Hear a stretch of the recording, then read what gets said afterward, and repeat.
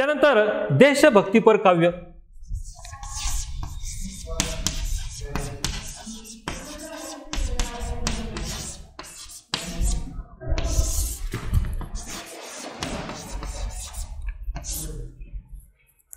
मराठी साहित्यामध्ये विवा शिरोडकर यांनी देशभक्तीपर अनेक काव्य लेखन केले. त्यांच्या अनेक काव्यापैकी एक काव्य स्वातंत्र्य देवीची विनवणी. आपल्या घरामध्ये जे रेशन कार्ड आहे त्या रेशन कार्डाच्या मागच्या बाजूला तुम्ही ही कविता तुमच्या लक्षात समोर त्याचं दर्शन होईल. ही कविता कुणाची आहे? तर विवा शिरवाडकर यांची आहे. स्वातंत्र्य देवीची विनवणी. आणि त्या कविते म्हणतात की पन्नाशीची उमर गाठली अभिवादन मज करू नका. मीच विनविते हात जोडूनी वाट वाकडी धरू नका. आता पन्नास वर्ष म्हणजे जेव्हा स्वातंत्र्य प्राप्त होऊन पन्नास वर्ष पूर्ण झाले तेव्हा स्वातंत्र्य ही भारत माता आपल्या या देशातील भूमी आपल्या पुत्रांना म्हणते आहे की मला फक्त तुम्ही पंधरा ऑगस्ट आणि सव्वीस जानेवारीला फक्त अभिवादन करू नका. तर या ठिकाणी अभिवादन करण्यात तुम्ही वेळ खर्च न करता या आपल्या भारत मातेला सर्व बाबतीत तुम्ही उंचावर कसं न्याल? तर याचा विचार करा. असा त्याचा अर्थ या ठिकाणी केलेला आहे. वाट वाकडी धरू नका. वाईट कृत्य करू नका. कुणाची फसवणूक करू नका. कुणाला या ठिकाणी फसू नका.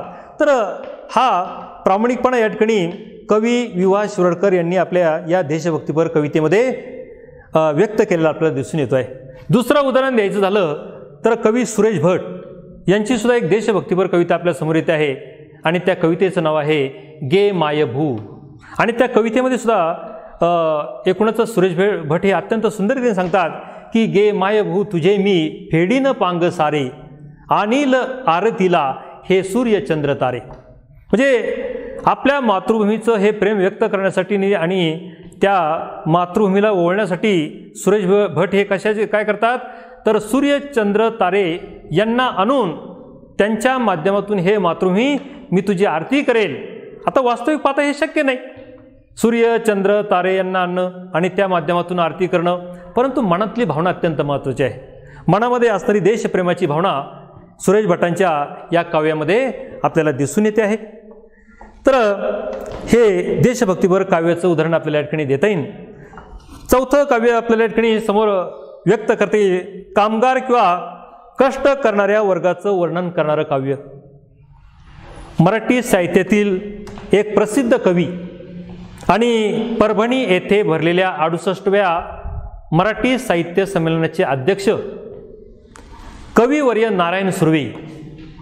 नारायण सुर्वे यांनी आपल्या काव्यातून दुःखी कष्टी वंचित गरीब कामगार वर्गांच्या जीवनावर आधारित काव्य लेखन केलं आहे कामगारांच्या ज्या समस्या आहे मजुरांच्या ज्या समस्या आहे शोषित समाजाच्या ज्या समस्या आहे दुःखी कष्टी जनतेच्या ज्या समस्या आहे त्या समस्यांना कुठेतरी वाचा फोडावी. आणि म्हणून त्यावर प्रकाश टाकण्याचा प्रयत्न कविवर्य नारायण सुर्वे यांनी या काव्यामध्ये केलेला आहे. एका क कवितेमध्ये फार सुंदर रीतीने ते वर्णन करतात की कामगार आहे मी तळकती तलवार आहे. रोजीचा रोटीचा सवाल तर दरजचा आहे. कधी फाटका बाहेर आहे तर कधी फाटका आत आहे. सारस्वतांनो थोडासा गुन्हा मी करणार आहे. सारा स्वतःनो थोडासा गुन्हा मी करणार आहे. म्हणून या काव्यामध्ये नारायण सुर्वे यांनी पूर्णपणे कामगारांच्या व्यथा वेदना त्यांच्या अडचणी आपल्यासमोर मांडण्याचा प्रयत्न या ठिकाणी केला आहे म्हणजे प्रत्येक कवी आपल्या काव्यातून एका विशिष्ट अशा घटकावर प्रकाश टाकतो आहे बालकवी म्हटलं की निसर्ग कवीची आठवण होती कुसुम अग्रज म्हटलं की देशभक्तीची आठवण होती आहे प्रख्यात्रे म्हटलं की विनोदी काव्याचं दर्शन आपल्याला होतं आहे.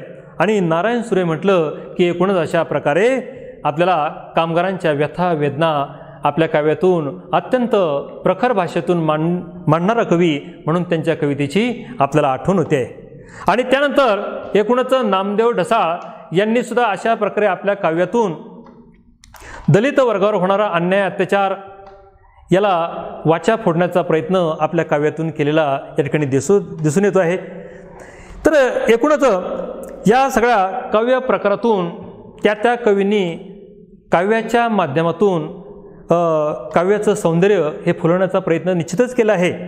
पण त्याचबरोबर समाजामध्ये असणाऱ्या अनेक प्रश्नांना त्या ठिकाणी वाचा फोडण्याचा सुद्धा प्रयत्न केलेला आहे. विद्यार्थी मित्रांनो तुम्ही आठवी नववी आणि दहावीच्या ह्या तीन वर्षामध्ये मराठी भाषेच्या पुस्तकामध्ये अनेक कवितांचा अभ्यास तुम्ही केला आहे आठवीचं पुस्तक असेल नववीचं पुस्तक असेल किंवा दहावीचं पुस्तक असेल त्या प्रत्येक पुस्तकामध्ये पाठाची संख्या जास्त असते आणि कवितेची संख्या मात्र ही कमी असते.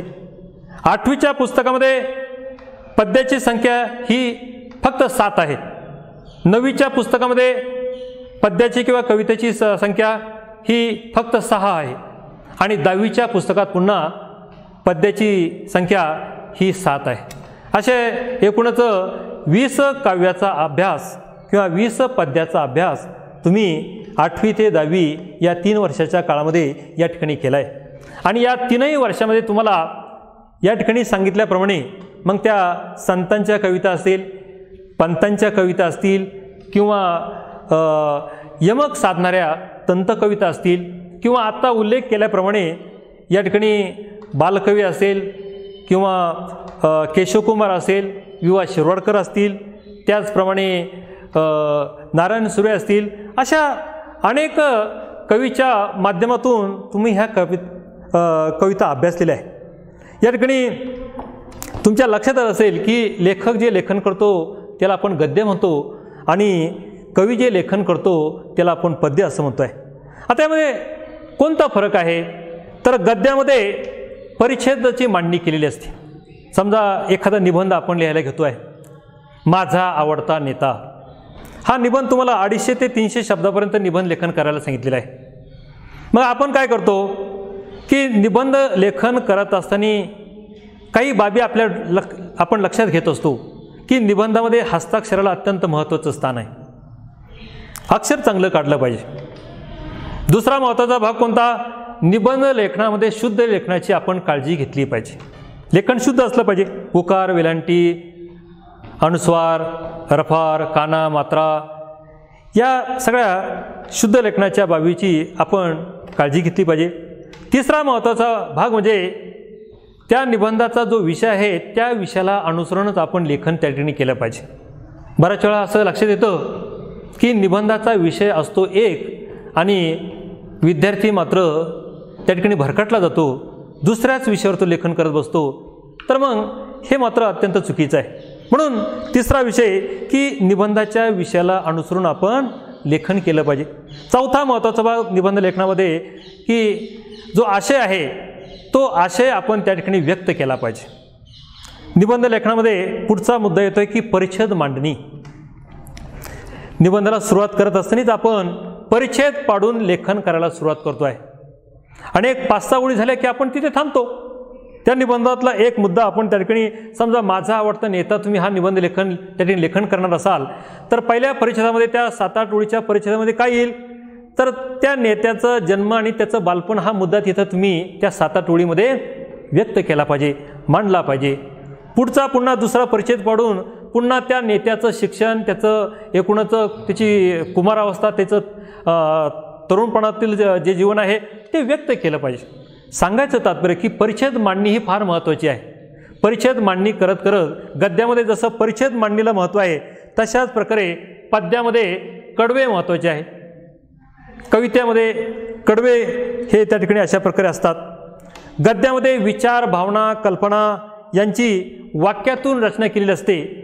तर पद्यामध्ये एकूणच विच कवीच्या मनातील विचार कल्पना भावना याची रचना ओवीतून केलेली असते. हे आपण लक्षात घेतलं पाहिजे. वाक्यात त्या वाक्याचा सरळ अर्थ वाक्य कानावर पडलं की लगेच अर्थ आपल्याला कळतो. वाक्य साधं सोपं आहे. त्याचा अर्थ आपल्याला समजा माझा आवडता नेता हा तुम्ही निबंध लिहित असेल. आणि त्या ठिकाणी वा तुम्ही एक वाक्य लिहिलं आहे की महात्मा गांधी यांचा जन्म गुजरात राज्यातील पोरबंदर या ठिकाणी झाला. तर तुमच्या हे वाक्य ऐकल्यानंतर लगेच अर्थबोध होणार आहे की महात्मा गांधी यांचा जन्म या या ठिकाणी झाला आहे. तसं पद्याच्या बाबतीत मात्र होत नाही. पद्याच्या बाबतीमध्ये ओळीचा संदर्भ घेऊन तुम्हाला तो आशय लक्षात घ्यावा लागतो तेव्हाच तुम्हाला त्या काव्यपंक्तीचा अर्थ लक्षात येणार आहे. कधीकधी मगाशी सांगितल्याप्रमाणे त्या काव्यपंक्तीला कधीकधी द्वि द्विअर्थ असतात. ती काव्यपंक्ती वाचल्यानंतर त्याचा एक ठोस अर्थ आपल्यासमोर येतो आहे पण कधी कधी कवीला मात्र तो अर्थ अपेक्षित नसतो. कवीला मात्र त्या ठिकाणी दुसरा अर्थ सांगायचा असतो आणि इथेच आपली चूक होते. म्हणून गद्याच्या बाबतीत त्या वाक्याचा अर्थ लक्षात घेणं सोपं काम आहे. पण पद्याच्या बाबतीमध्ये मात्र तो अर्थ जर तुम्हाला लक्षात घ्यायचा असेल तर अगोदर तुम्हाला तो आशय समजून घ्यावा लागेल. आणि त्याचा संदर्भ घेऊन मग तुम्हाला तो अर्थ त्या ठिकाणी लक्षात घ्यावा लागणार आहे. थोडक्यामध्ये गद्य हे वाचल्याबरोबर लगेच तुम्हाला कळतं. एक समजा दहा ओळीचा परिच्छेद असेल आणि तो तुम्ही वाचला तर तो लगेच तुमच्या लक्षात राहणार आहे. पण एखादी कविता तुम्हाला वाचायला सांगितली आणि ती लक्षात ठेवायला ठेवायला सांगितली तर तसं मात्र होणार नाही. कविता वाचल्यानंतर ती लक्षात राहीलच असं मात्र सांगता येणार नाही. किंवा ज्याप्रमाणे गद्याचा दहा ओळीचा तो उतारा वाचल्यानंतर त्याचा अर्थ तुम्हाला कळेल की गद्यामध्ये नेमकं त्या लेखकाने काय सांगितलं आहे? यातून नेमकं कोणती भावना व्यक्त केली आहे? यातून नेमकं कोणता विचार मांडला आहे? हे तुम्हाला गद्य वाचल्यानंतर किंवा तो पाठाचा तो घटक वाचल्यानंतर लगेच त्याचं आकलन होणार आहे. पण पद्याच्या बाबतीत विद्यार्थी मित्रांनो मात्र ते पद्य वाचल्यानंतर त्याचं आकलन तुम्हाला होईलच हे मात्र सांगता येणार नाही. आणि जरी तुम्हाला त्याचं आकलन झालं तरी त्याचा जो मुख्य अर्थ आहे कवीला अपेक्षित असणारा जो अर्थ आहे तो मात्र तुम्हाला आकलन होईलच हे मात्र सांगता येत नाही. गद्यामध्ये परिच्छेद असल्यामुळे गद्याची एक वेगळी अशा प्रकारची रचना आपल्याला बघायला मिळते. आणि पद्याच्या बाबतीमध्ये मात्र ओळीबद्ध रचना असल्याकारणाने तिची रचना कडव्याच्या माध्यमातून आपल्याला बघायला मिळते आहे. कधी दोन दोन काव्यपंक्तीचं कडवं असतं कवितेमध्ये तर कधी चार चार ओळींचं कडवं आपल्याला बघायला मिळतं आहे हे गद्यामध्ये आपल्याला मात्र ही रचना पाहायला मिळणार नाही. गद्यामध्ये परिच्छेद मांडणीचं रचना आहे. आणि पद्यामध्ये मात्र एकूणच कडव्यांच्या माध्यमातून या ठिकाणी ही रचना केलेली आपल्याला दिसून येते. आहे तर अशा प्रकारे या पद्याचे फायदे कोणते आहे ते आपण आता लक्षात घेतले पाहिजे. पद्याचे फायदे. किंवा कविता वाचन केल्यानंतर किंवा कविता श्रवण केल्यानंतर त्याचा कोणता फायदा आपल्याला होतो हे आपण लक्षात घ्यायचा प्रयत्न केला पाहिजे. एखादं काव्य जेव्हा आपण ऐकतो किंवा वाचतो तेव्हा त्या कवितेची जे कवी आहे त्या कवीची कल्पनाशक्ती किंवा प्रतिभाशक्ती जी आहे ती मात्र एकूणच आपल्या लक्षात आल्याशिवाय राहत नाही. आपल्याला त्याचं दर्शन त्या ठिकाणी झाल्याशिवाय राहत नाही. आपण त्या ठिकाणी लगेच विचार व्यक्त करतो आहे किती सुंदर कविता आहे. त्या कवितेमध्ये कवीने किती सुंदर विचार मांडले आहे. त्या कवी कवीने त्या कवितेमध्ये शूरवीरांचा किती मोठा महिमा वर्णन केला आहे. एखादी देशभक्तीपर कविता असेल आणि ती कविता आपण जेव्हा वाचन करतो किंवा ती कविता जेव्हा आपल्या कानावर पडते तेव्हा आपल्यासमोर येतं की कवीने किती सुंदर रीतीने त्या काव्यामध्ये शूरवीरांचा इतिहास वर्णन केला आहे. कमीत कमी शब्दामध्ये शूर वीरांचा महिमा त्यांच्या कार्याचा त्यांच्या पराक्रमाचा हा महिमा किती सुंदर रीतीने व्यक्त केला आहे. असे शब्द आपल्या एकूणच तोंडातून बाहेर पडतात. म्हणजेच याचा अर्थ की कवीची असणारी कल्पनाशक्ती किंवा प्रतिभाशक्ती याचं दर्शन निश्चितच आपल्याला ते काव्य वाचल्यानंतर झाले वाचून राहत नाही. आणि दुसरी गोष्ट कवीच्या ज्या भावभावना आहे कवीचे जे विचार आहे कवीचे ज्या काही अनुभव आहे यांचीसुद्धा एक प्रकारे ते काव्य वाचल्यानंतर किंवा श्रवण केल्यानंतर त्याचीसुद्धा अप्रत्यक्षपणे देवाणघेवाण झाल्याशिवाय आपल्याला राहत नाही. या ठिकाणी निसर्ग घटकातील बारीक सारे घटक आपल्याला माहीत नसतात पण कवितेच्या माध्यमातून या सगळ्या घटकांचं दर्शन आपल्याला होत असतं. तो कवी अगदी बारीक सारी घटकापासून तर मोठ्या घटकापर्यंत सगळ्या घटकांच्या बाबतीत विशिष्ट प्रकारच्या प्रतिमा तिथे वा त्याचं योजन तो करत असतो. आणि त्या प्रतिमामधून त्या बारीक सारी घटकांचा जो भव्य दिव्यपणा आहे तो आपल्यासमोर उभा करण्याचा प्रयत्न करत असतो. म्हणजे आपल्याला हे नवल वाटण्यासारखी परिस्थिती आपल्या मनाला हे पटतसुद्धा नाही की हा कवी इतक्या सहजतेने आणि अगदी साध्या सोप्या पद्धतीने निसर्गातील हे बारीक सारी घटक कसे बरं निर्माण करत असेल? तर निश्चितच या बारीक सारीक घटकांचा फायदा दर्शन आपल्याला आपल्या हे काव्य वाचल्यानंतर किंवा त्याचं श्रवण केल्यानंतर झाल्याशिवाय राहत नाही. उदाहरण द्यायचं झालं तर आपल्या मराठी साहित्यातील बहिणाबाई चौधरी खानदेशामध्ये जन्माला आलेल्या आणि निरक्षर आयुष्यभर कधी शाळेची पायरी न चढलेल्या अशा निरक्षर असणाऱ्या कवयित्री बहिणाबाई चौधरी. यांनीसुद्धा साध्या साध्या कवितेतून सोप्या सोप्या कवितेतून मानवी भावभावनांचे सुंदर अशा प्रकारचं दर्शन त्यांच्या बऱ्याचशा काव्यातून आपल्याला झाल्याशिवाय राहत नाही. मन वढाय वढाय उभ्या पिक्यातील ढोर किती हाकाला हाकाला न फिरून येते माघार. म्हणजे आपलं मानवी जे मन आहे ते मन जसं एका ठिकाणी कधीच राहत नाही आत्ता ते येत आहे तर थोड्या वेळाने ते आणखी कुठे जाईल? सारखं इकडे तिकडे फिरत असतं. तर हे मनाला कुणाची उपमा दिली? तर मोकाट जे जनावर असतात मोकाट सुटलेले कुणाच्याही शेतात जातात नासधूस करतात तर अशा प्रकारे किती हाकलून लावले ते पुन्हा ते माघार येतात. तशा प्रकारे आपलं मनसुद्धा हे एका ठिकाणी कधीच नसतं. इकडे तिकडे ते धावा घेत असतं. असं बहिणाबाई चौधरी यांनी आपल्या काव्यातून मनाच्या भावभावनांचं वर्णन या ठिकाणी केलं आहे किंवा दुसरी कविता त्यांची पाहता येईल. माणसा माणसा कधी होशील तू माणूस? हे माणसा तू माणूस आहे. तुझ्यामध्ये आणि इतर सजीवामध्ये फरक आहे. माणसाने आपल्या जीवनामध्ये जीवनामध्ये माणसासारखं वागलं पाहिजे. पण कधीकधी बहिणाबाई चौधरी यांना काव्यातून त्यांनी स्पष्ट केलं आहे की हा माणूस कधीकधी असा एकूणच प्राण्यांसारखा का बरं वागतो आहे?